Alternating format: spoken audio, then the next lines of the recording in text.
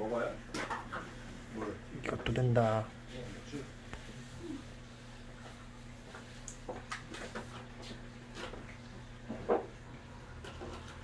이거 먹으니까.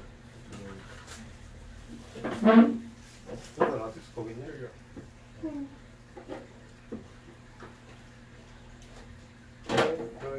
됐습니다.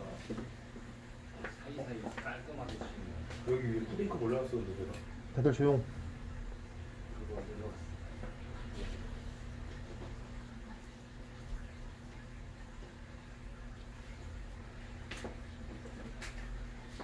발 만지는 거 제일 싫어하는데.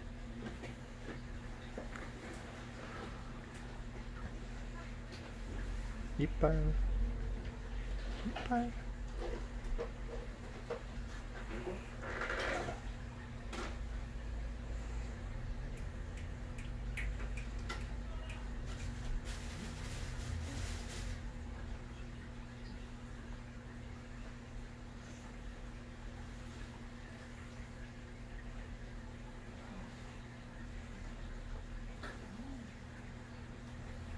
진짜 예쁘다.